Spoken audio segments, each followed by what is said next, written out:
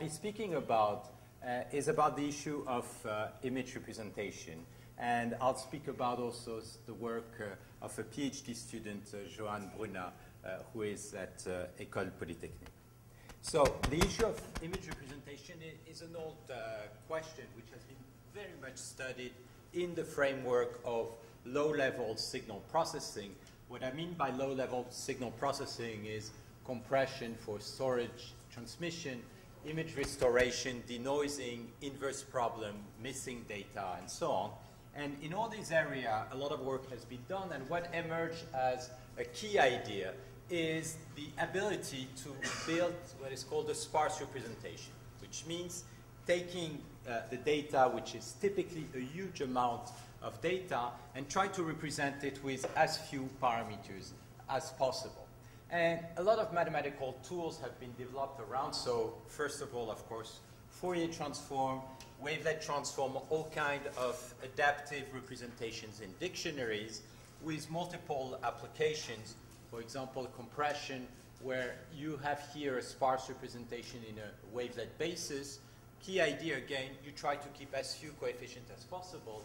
In this case, the compression factor was about uh, 16 and JPEG 2000 restore an image from these uh, few coefficients. You have many applications on inverse problem. This was a work that was done by Miki, Elad, uh, uh, Guillermo Sapiro, and Mairal, where basically where, what you see here is an image with very, very few pixels. About 80% of the pixels are missing. And here you have this whole class of inverse problems. But because the image can be represented with very few parameters, because it has a sparse representation, even though you have very few measurements, you can try to basically inverse the problem, the uh, linear system, and you get an excellent recovery of the original image. So you have a huge set of applications, and I would say that this is an area which is pretty well mastered from a mathematical point of view, from uh, engineering and application point of view, although of course there are all kind of interesting questions and algorithms that are coming out constantly. Now, if you look at this other area, which is image interpretation, compared to this other relatively civilized world, it's a kind of Wild West. I mean, there are a lot of very nice ideas, but very few things are uh, understood. The issue, of course, is to try to detect and uh, interpret images, image patterns. And the difficulty is that images are incredibly complex have textures, you have 3D shapes which are completely deformed. And the issue here, if you think of it in terms of image representation, you may think, well, let's take the tools that we know and that we love to handle in low-level image processing and try to transpose it. And let's think, for example, of building a sparse representation of that. That will not lead you so far. Why? Because the problem is completely different. The issue here is not about restoring with the highest possible quality the image. The issue is essentially the opposite. Try to eliminate the information as smartly as possible so that the remaining piece of information is stable for classification. And how to do it, there are, as I said, very smart algorithmic ideas that have been developed, especially for the last 10 years in uh, computer vision, but the problem remains mostly a mystery, at least from a mathematical point of view. There's still very little understanding on how to approach this problem with the same kind of basic principle we've seen appearing for low-level image processing. Okay, if you go to psychophysics, there are a few elements which are interesting just to mention. It's very well known since the 1960s the work of Hubel and Wiesel, that if you go in the visual cortex, which is in the back of the brain, you have this region called V1, and there you can observe the hypercolumnar structure where you have different types of cells. Among these cells, there are neurons called simple cells, which in a first approximation, given all kind of nonlinearities, do have some kind of linear behavior. And if you measure this linear behavior depending upon where you look, in the cortex, you will see impulse response, which looks a little bit like wavelets, dilated. And when you turn around the center of this pinwheel, you have the orientation, spatial orientation of the wavelets, which change. So there has been hundreds of physiological paper trying to measure this impulse response. And some of the models, uh, well, almost all of them are based on Gabor functions, namely a Gaussian, which is modulated by a sine wave and with different orientation. So this is relatively, at least partly understood. What is absolutely not understood is what's happening for the complex cells. So you have all these simple cells which are feeding into cells which are called complex because basically nobody understands what they're really doing. The only thing that we understand well is that they are fully nonlinear. They have a support which is much larger than the simple cell, and they inhibit some kind of invariance in the sense that when the stimuli moves on the retina, the response of the complex cells have a tendency not to change so much, even when the stimuli is scaled. So you have this notion of invariance, which is coming in, and the question is what are they're doing and why are they doing that kind of thing. Then you have the visual pathway, which goes from V1 to V2, V3, V4. And if you move in V4, you have some cells which get to be very specialized. There are these so-called grandmother cells, and a caricature of these cells uh, consists in saying that, for example, if a cell is tuned to your grandmother, then it will be completely invariant to whatever pose, expression, and so on your grandmother will have. It will fire if it's your grandmother. It will not fire if it's not your grandmother. So you see that there is this concept of invariance which is appearing here in the visual system and sim very similar thing appear in the audio system. And one of the questions is, of course, why and how such uh, invariant could be implemented or understood. Okay, let me come back to images and the, the issue of image classification. One of the big difficulty, of course, of image is that an image is an element of a very high dimensional space. And if you look at the distribution of an image within a given class, generally this distribution is what? It is not on any kind of regular manifold structure. So, and that will be one of the source of difficulty. Let me just show you a very simple example. Take the example of digit classification. So one image is a digit, and you have, for example, the class of digit 1, which is a handwritten 1 with all the possible different ways to write a 1 or a 9 or an 8 and so on. Okay, you can see an image like that as a point in a high-dimensional space. What I'm saying here is that if you take all the digits representing a 1, you'll have a set of points, and this point these points belong to a low-dimensional manifold because in this case, a 1 has few parameters. But this manifold is absolutely not regular. Why isn't it regular?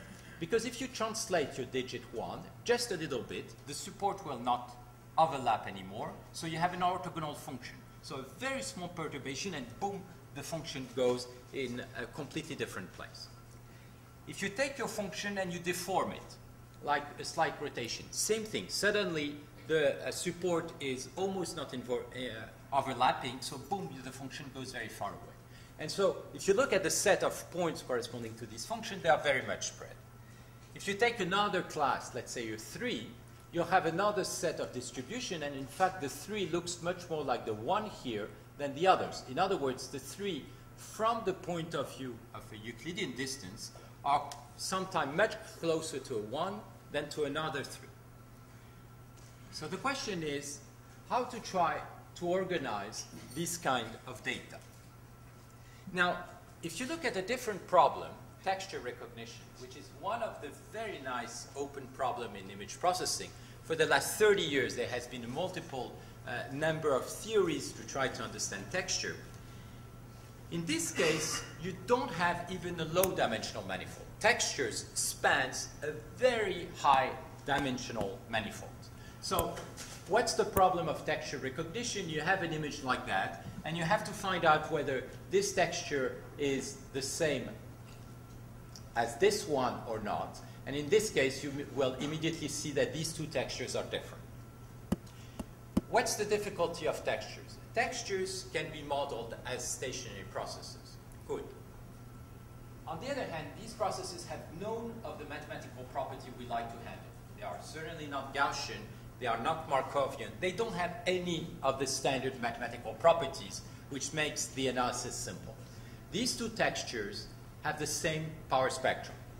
In other words, they have same second order moment, and although it's the case, you can very easily discriminate them. If you look at this texture, this is a realization of Gaussian white noise, so it essentially lives everywhere within your space, certainly cannot be reduced to a low dimensional manifold. Despite that, within one tenth of a second, you are shown two such texture, and you can discriminate them. So the question is, if you have such a problem again, how do you build a representation? And of course, what you'd like is that the appropriate representation should work for texture, for digit, for whatever classes of functions or signals. Okay, so what's the dream? One dream could be, let's take this wild set of samples in these different classes, and let's try to build a representation where in your final space, everything will be easy. Everything will be easy, meaning the samples would belong to low dimensional regular manifold. To do that, you need to reduce variability. Within your class, you have a lot of variability, which is not really useful for discriminating the different class. You need to rebuild some kind of regularity, which is not apparent here.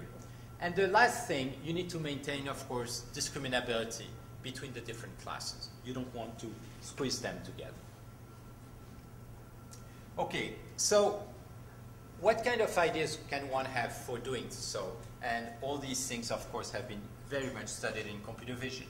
First observation, image classification is invariant by translation. If you have an object, you translate it, of course, it's the same object. So you don't care about translation. In the same way, if you have a scaling factor, because the distance to your retina change, it shouldn't affect the classification. So you have very intuitively, of course, this notion of invariance which comes in, translation, scaling, and being invariant means you already reduce the variability of your class. What is more subtle is that you are also sensitive to elastic deformations, and that provides a very natural metric which is used, again, very much in computer vision, in particular in medical image processing. If you have an image like that which is being deformed, we perceive this deformation and you would say that this image is more far away than this one because the deformation is bigger. So what is the deformation? The deformation is a simple operator which essentially can be viewed as a translation, but a translation which depends upon the point, as long as the deformation is not too big. So tau of x is now a displacement field which depends upon the point. And locally, if you make a Taylor series approximation, you can view any such deformation as being a translation plus a deformation operator which is given by the gradient of the displacement field. And the elasticity term of this deformation is just given by the norm of this matrix over there. And you can look at the maximum deformation of the image. It will be the maximum size of the norm over there. So that would be a natural metric giving you the distance between two images. Okay, so what, do we, what we would like to do? We would like to build a representation such that the Euclidean distance within this representation provides a natural metric for classification. So, first property, we would like to reduce variability, build invariance. Invariance to finite groups such as translation, dilation, rotation, whatever, and I'll discuss about that a bit later. So in this case here, I look at translation. Dito of f is just a simple translation of f, and what you'd like is that representation of the translated signal should be the same as the representation of the original one. This is a very weak property. There are millions of ways to do so, and we'll look at two sim few simple ways to do so. What is more subtle, as I said, is to handle the deformation. If now your image is deformed, what you would like is that the distance between the representation of f and the representation of the deformed image should be of the order of the deformation size. If the deformation is small, the distance should be small. And you should have this result with a simple Euclidean result without having to do any kind of registration. So that's what we're going to study. And we'll try to see how to take this mathematical problem and build such representation. So I'm going to begin with the simplest idea one can think. Let's begin with averaging. Then we'll look at the Fourier transform, which provides a possible solution. And we'll see, including wavelets, that all these tools essentially don't work for tackling this problem, at least as such.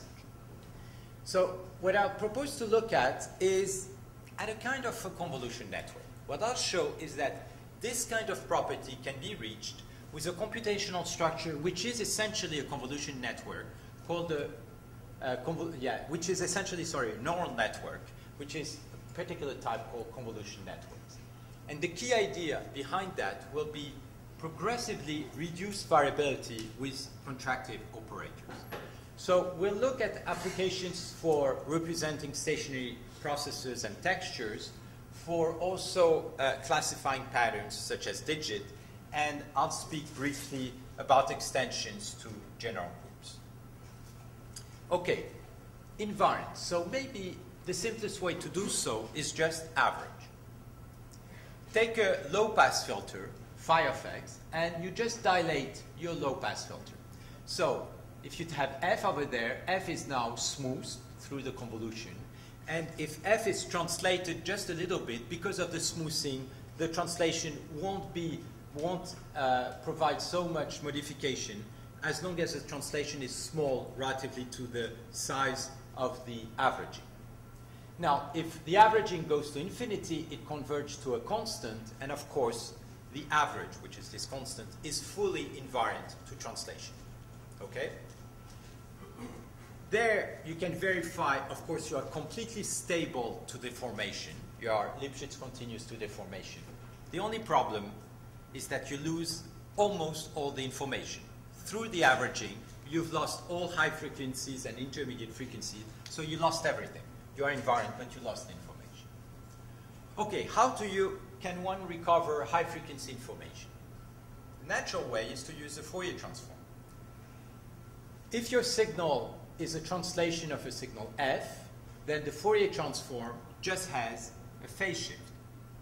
So now if you look at the modulus of the Fourier transform, of course the modulus of the Fourier transform is invariant to translation.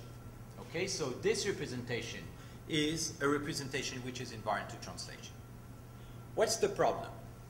The problem is when you make a deformation. Because high frequencies will be very severely modified by uh, deformation which are not translation. If you look at such a deformation, if your signal has energy at a high frequency psi, what is relatively easy to check is that in the Fourier domain, if you just look at the modulus, so you kill the phase, the distance between the modulus of the deformed signal and the original signal will be proportional to the deformation gradient, but multiplied by the highest frequencies. In other words, high frequency will move very much, and therefore it's not stable to deformation. That's why nobody used Fourier transform in computer vision to represent images. Okay, so what could you do? Well, you want something which is stable to dilation. So why not using a wavelet transform? So how do you build a wavelet? You can take an envelope, let's say a Gaussian that you modulate with a sine wave. So you have a bandpass filter. Your bandpass filter, you rotate it with all possible rotation, like what I've shown for simple cells. You dilate it with all possible dilation, factor 2. And now the wavelet transform, I have, I won't speak about orthogonal basis here. I will just use something much simpler, a simple filter bank with no subsampling. You take your signal, you carry the low frequencies, and then the high frequencies, you represent them through these filter bank, through these convolution with wavelets, with all possible orientations and all scales. And if you make sure that your Fourier domain is fully covered by your bandpass filters, you verify that you have an energy conservation. You have a unitary operator, in other words, the norm of the wavelet transformed which is here defined as the sum of the norm of each of its components over there, will recover the norm of the signal. Okay, so that's the wavelet transform. Can we apply it for having an invariant? Well, the problem is the wavelet transform is certainly not translation invariant. It's a convolution. So if the signal translates, the wavelet transform will translate as well. Take, for example, a signal which is a sum of two Dirac. The wavelet transform will give you back the wavelet. Here I have two of them because I have the real part and the imaginary part in green red. And the second Dirac will give you the same thing translated. So you are absolutely not translation invariant. So what can we do? Well, we could do the same kind of thing as in the Fourier domain. You can kill the phase. Kill the phase by computing the modulus. And then you get the envelope over there. The envelope is a little bit more regular because you've killed the phase fluctuation. So if you have very small translation, it's okay. But of course, if the translation is a little bit too big, like here, you will see two different patterns.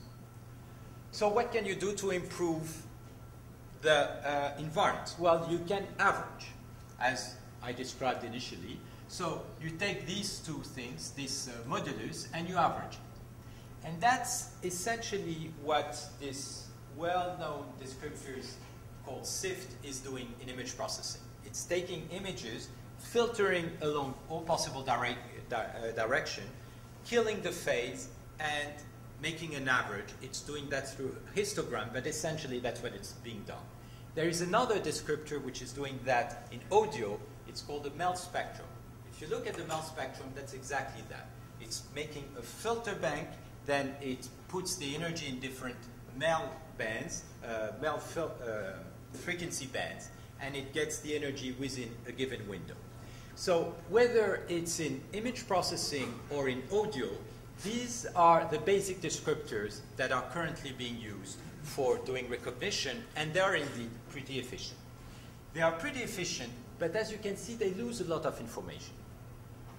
Here you had two Diracs, two structures, and you cannot anymore say whether you have two structures or only one.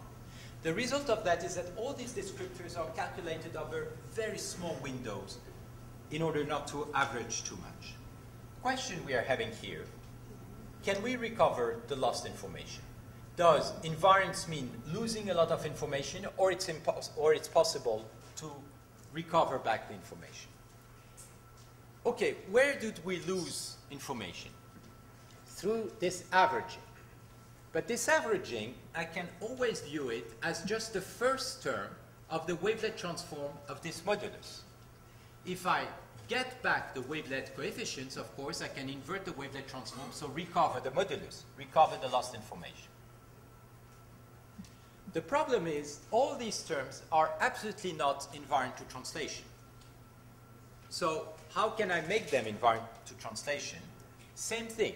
You can kill the phase over there and then average. And what do you get here? What you are getting here is information which is basically a co-occurrence information.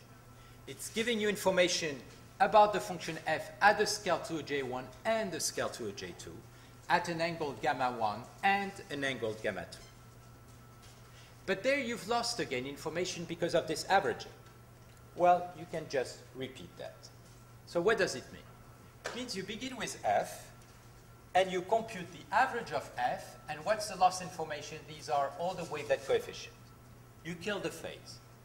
For each of these coefficients, and you have many functions of many signals over there, each of them, you transform it again. You have the average and all the bandpass filters. You kill the phase, and you repeat. You get the average, this is the invariant coefficient, and the next layer. And you iterate. At the level m, all these wavelet coefficients will yield the average and all of them. What you see appearing here is a neural network. At each stage, the function has been splitted through many neurons. Each neuron is doing a linear operation and a nonlinear operation, which is the modulus and then it's cascaded. The only thing is that in this neural network, what we'll recover is not what is at the end, and in fact we'll see that what goes to the, at the end goes to zero, will recover all the layers. All these layers, the average, the first order wavelet coefficient, second order co-occurrence coefficient, nth order co-occurrence coefficient. And you see, you go from one function and you explode this function in an infinite number of functions, and each time you have more, more, and more, because each time you explode one function into an infinite number of wavelet functions. So that's the output. That's what I call here the scattering operator because it scatters the information and their relations with scattering uh, phenomena in physics. You have all these first, second, and nth order wavelet coefficient with the modulus, and finally the average. Okay, so what's the norm? What we're interested in here is to analyze the property of the resulting metric. The norm will just be, like in the wavelet case, the sum of the norm of each of the gathered signal. So for all infinite number of scale, all orientations, and all the order from zero to potentially plus infinity. Now, one thing that is clear, this is a contractive operator.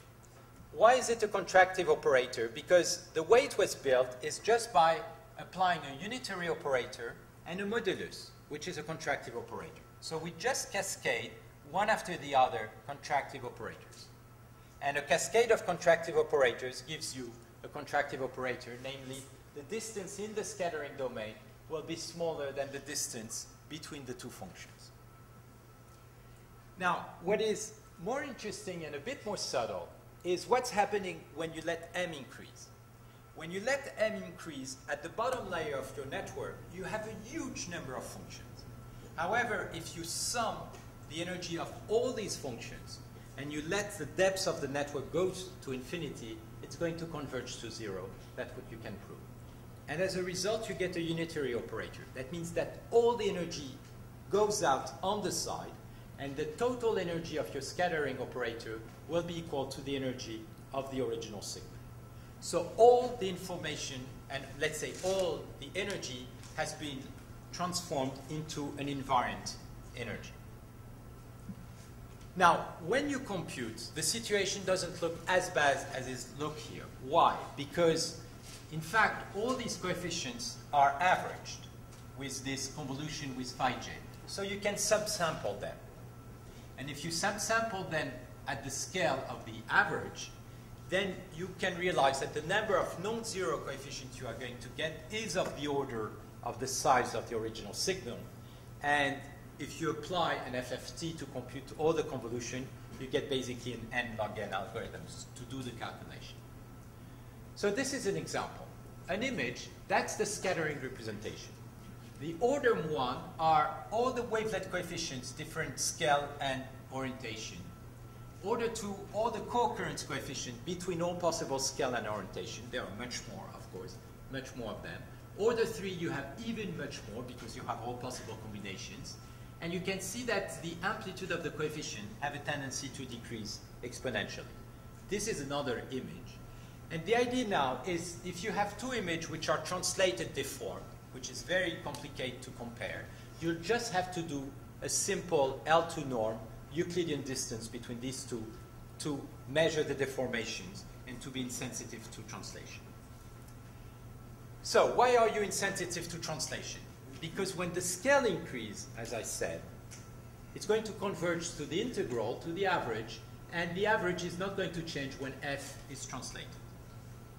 So if you let j increase, you can indeed verify that the norm is going to converge. And now if g here is just a translation of f, the distance between the scattering representation of f and f translated when j goes to infinity is going to go to zero, which tells you essentially that you have a translation invariant representation. Okay, but as I said, there is nothing great about having a translation invariant representation. The Fourier transform, just by killing the phase, gives you the same result. The key property you want is deformation. What's happening if you take your signal and now you deform it with a deformation gradient which is not zero? Then, if you look at the distance in the scattering domain, you can verify that the distance is essentially going to be proportional to the uh, deformation gradient up to a log term. And the reason is you are building your translation invariants by killing translation at all scales. At very fine scale, larger, larger, larger, through the phase of the wavelet coefficients. And if you look at the commutator between the two operators, they almost commute, and as a result you get that. And that's the key thing that will make all the algorithm work, is stability to deformation. Okay, let me first, before showing examples and algorithms, say what's happening when you have a, a stationary process, which is important for textures. If you have a stationary process, which is ergodic, then the scattering transform is going to converge to the expected value. You have uh, a consistent result, so that in the scattering domain, these coefficients that in the case of a Gaussian white noise may belong to a huge unitary, uh, let's say the uh, unit sphere of the space is going to converge to a very small ball around the centroid. So that to compare two processes, we'll just have to compare the scattering representation of a single re realization. If the distance is going to zero, then essentially it's the same process. If the distance is not zero, then it will come out out of two different processes.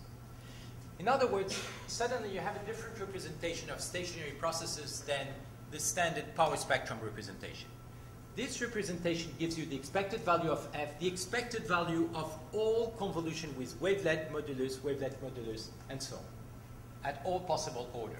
You can verify that you have the same property as in uh, power spectrum if you sum uh, the uh, energy square, you recover the energy of the process. So you have very similar property, although here you are completely nonlinear. This is a representation of two example, two processes. This is the expected scattering vector of this texture. This is the expected scattering vector of this texture. To compare the two, you just have to compare these two vectors, subtract them, and see whether the difference is small or not small. So we're going to do classification out of that, and that's all the work of Joan Bruna. So the classification problem is the following. You have k classes, which is each of them is a set of signals that you can always view as the realization of a random process fk. The process, of, of course, is not stationary. It has no particular property besides representing a class like digits or whatever, bicycles. First thing, you do a scattering transform. And because you build up the Lipschitz regularity to deformation, in this domain, you're going to get smooth manifold, at least locally smooth manifold. Then we're going to do the most naive classifier. And here the spirit is very much similar to what is done in uh, low-level signal processing. In low-level signal processing, the idea is you build a sparse representation, and then you do very simple things like thresholding, quantization, and so on. The idea is to do the equivalent. You build your representation, and then you use the simplest uh, uh, classifier, like linear SVM or PCA or so on. And in fact, this can be viewed as a kernel for uh, an SVM classifier. In this case, we're just going to take these manifold, and because they are regular, we're just going to approximate make them with an affine space. So how do you build an affine space approximation? You take the centroid, the expected value, and then you define a linear space which carries the d principal direction of variations. This is basically a PCA. You take a PCA, and out of the PCA, you get out the uh, linear space which carries the largest variation. So for two classes, you're going to get two affine spaces that will now be the model of the class. If you have a new signal f that you want to classify, you go into the scattering domain. You have the transform of f, and then you find what is the best approximation of your scattering transform. Which affine space best approximated by computing the projection on the linear space and just calculating the distance and that gives you the class. So it's again a very simple algorithm. Just one thing. This algorithm, contrary to something like a, uh, uh, a linear discriminant algorithm like SVM, doesn't learn by trying to compare in class. For example, you don't learn about socks by comparing socks with lions, with chairs, and so on. Each class is learned independently one from the other by just calculating the linear space approximating the manifold. Okay, what does that give for texture? Uh, there are two parameters which are estimated here, which is the scale of invariance. How big the scale of invariance should be. You just do a cross-validation to see what is the best scale. And what's the dimension of the approximation space? Same thing, it's a cross-validation. So this is a standard database that is developed in uh, uh, Berkeley, which is used for uh, most uh, texture discrimination now in computer vision. So you have 61 class corresponding to different material under different illumination rotations. Each class so has many realization corresponding, as I said, to different piece of the material, different rotation illumination. The state of the art was obtained with Markov random fields, with relatively heavy Gibbs sampler, with 23 uh, training example per class to learn the stochastic model, the uh, recognition, which was the best rate obtained, was about 22%, but when it goes to 46%, the error drops to 2%. With the algorithm that I described, which is implemented on a simple laptop like that, it's very fast with 23 sample per class, you have a factor 20 drop. It's 1%. With 46 sample per class, it goes to 0.1%, so you still have a factor 20 uh, drop with the state of the art. There are very interesting open questions behind all that. Why? Suddenly you have a different representation of stationary processes, which are able to carry non-Gaussian properties, whereas normally this is done very often uh, with high-order moments. You still work with first and second-order moments, but of a very nonlinear representation. Now, why you have really this level of accuracy and what are the underlying properties? As I said, there are many interesting open problems uh, behind it. What's happening for MNIST? MNIST is this huge database of digits which is again a very standard uh, classification algorithm. State of the art was obtained by convolution network, uh, in particular by LeCun. I must say all this work is very much inspired by all what has been done in computer vision. We've just been trying to re-understand that from a math point of view, which led to slightly different algorithm. Training size. If you only have 300 digits to learn from, convolution network gives you 7% error. 40,000 digits, about 0.65% error. So when you have a huge number of samples, then the precision gets very good. That's the results that we have with this algorithm. Below 5,000 samples, basically we have the state of the art. Beyond, as you see, it goes to 0.78% instead of 65%. So convolution network works slightly better. This is the dimension of the space that we are learning. And you can see that, in fact, it's very low dimensional space. The dimension D, which is basically the dimension of the number of direction of, uh, of uh, deformation that you are learning, increase when you have more samples. Now, learning is really about learning in that range. When you learn, when you learn about animals, when you learn about structure, very few examples are normally sufficient to learn and as I showed the case of this animal in a jungle, if you need 40,000 uh, examples to learn to what is a wild cat or what is a lion, you are very unlikely to survive in the jungle. And that's why, that's why we want to work. 300 samples or even much more, three or four. So that's where we are. Now, clearly that's not the final solution of uh, classification. Why? because images are much more complex than that. You don't just have translation and local deformation. If you want to classify bicycles, you'd like to understand bicycles and in some sense take the bicycle class and squeeze it to a single point, exactly as we take all possible translation and squeeze it, okay? So once you've done this local translation invariance, you are going to get a manifold which is locally regular, but which may not be flat in the same case as digits. And what you want to do is just continue. Flatten progressively your manifold. And to do that, you can continue to apply scattering operators, but not relatively to the translation group, but other groups G. And the key idea is once you understand the math, you can do that exactly in the same way. Why? Because the principle, the essential idea was make a wavelet transform, kill the phase, and just iterate on that. Well, you do the same thing, but a wavelet transform which is not built on the translation group, but on the Lie group that you need, on which you need to build your invariant. So you build the wavelets on the Lie group, and then you make the wavelet transform modulus, and then you cascade the same thing. And that is flattening your structure relatively to the variation of your Lie.